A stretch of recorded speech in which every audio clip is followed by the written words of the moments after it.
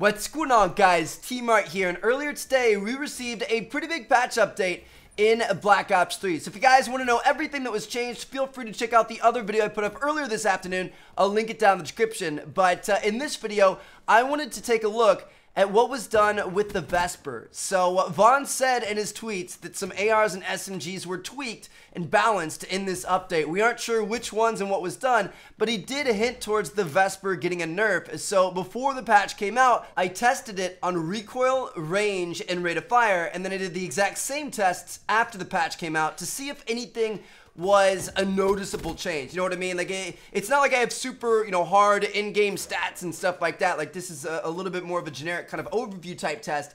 But uh, something did definitely stick out, and that, my friends, is the recoil. It's got a lot more recoil now. So you guys to see in this gameplay right here, this is before the patch, and I'm standing just like right in front of this garage, aiming right at the middle of the garage.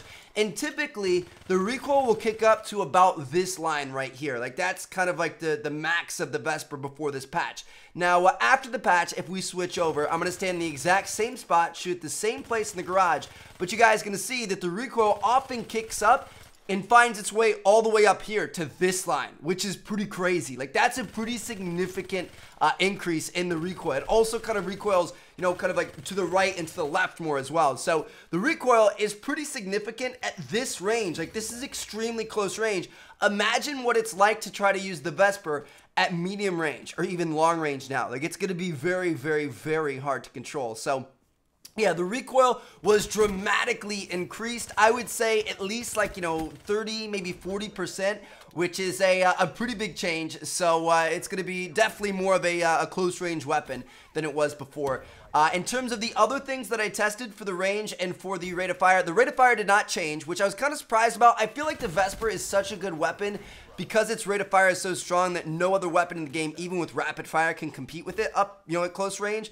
So uh, I, just, I thought that was kind of weird. They kept it the same, but they did. The re, or the the rate of fire stayed the same, and then for the range.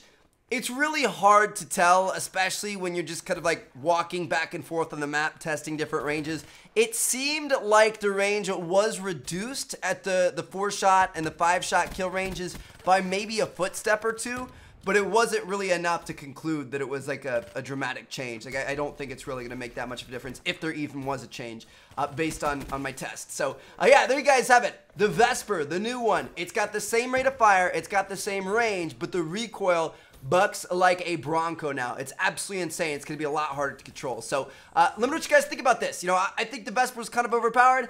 It's going to be interesting to see how this shapes out and see if people still stick with this, or if they're going to start using other stuff. Let me know what you guys think down in the comments. Hashtag hopefully the Weevil was buffed. We'll find out on Monday. Thank you guys so much for watching. I'm going to catch you guys later. Check out one of these two videos screen. you've Seen yet?